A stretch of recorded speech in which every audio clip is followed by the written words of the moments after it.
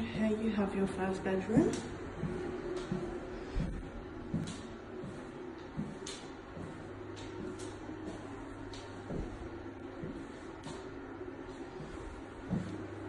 And you have your ensuite bathroom in here, which comes in a walk-in shower.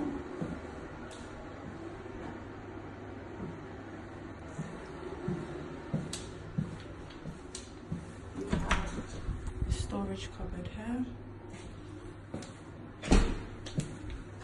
And you have your second bedroom here as well, which is quite spacious.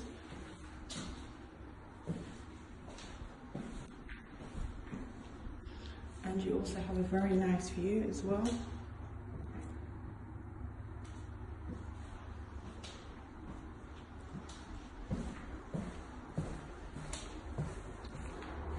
Also have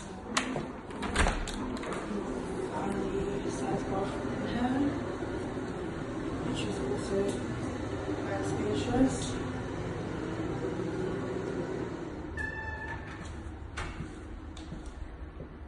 And you have your living area, which is here.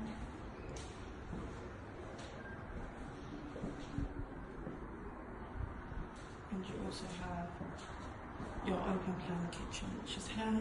So you have your fridge freezer, you have your cooker, you also have a washer and dryer in here, in here and you have a dishwasher in here.